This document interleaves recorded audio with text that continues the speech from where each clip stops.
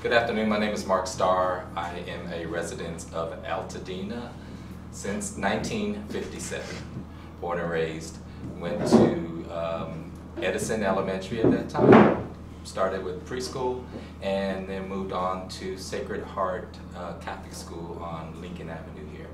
Um, and ended up uh, going from a school of approximately 900 students and transferred into high school, going to public school with approximately 5,000 students.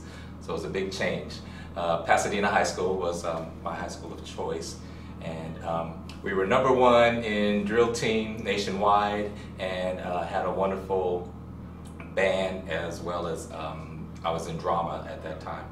Uh, during my high school years, I um, was interested in um, a lot of different activities and through the summer played a number of sports and um, a lot of swimming. In uh, swimming at the YMCA on Palm Street, and, uh, a couple blocks from my residence, um, met a number of people that were going to John Muir High School, which is on Lincoln Avenue here in Pasadena, and I um, joined friends with them. And at that time, they were dancing on um, television shows in the 70s uh, American Bandstand, and Soul Train. So I ended up dancing five years on American Bandstand and Soul Train from 1974 through 1979.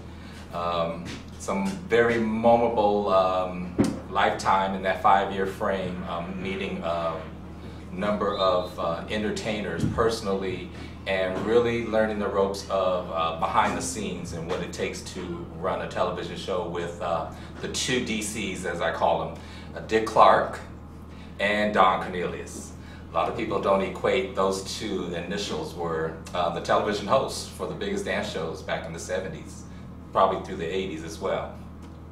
Um, from that I moved on into um, cosmetology. Uh, studied at uh, Los Angeles Trade Technical College, downtown Los Angeles. Uh, got my degree in cosmetology and uh, been in the profession uh, for 25 years. Ended up with um, personals, as they call them, for a number of celebrities for television and film. have a hundred celebrities that I've worked with. I also um, currently do CBS News uh, do the makeup for the uh, newscasters. And uh, grateful to have uh, had this opportunity to share uh, my life story of 57 years here in Altadena. Um, one thing I do say uh, to a lot of my friends, they say, you, you live so far out from Los Angeles, um, I say, well, I'm glad you think that way, but it's only a hop, skip, and jump once you get used to the commute.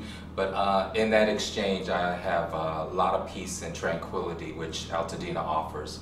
Um, Eaton Canyon's one of my favorites. Um, hiking uh, in uh, Chaney Trail, um, back with uh, and behind JPL.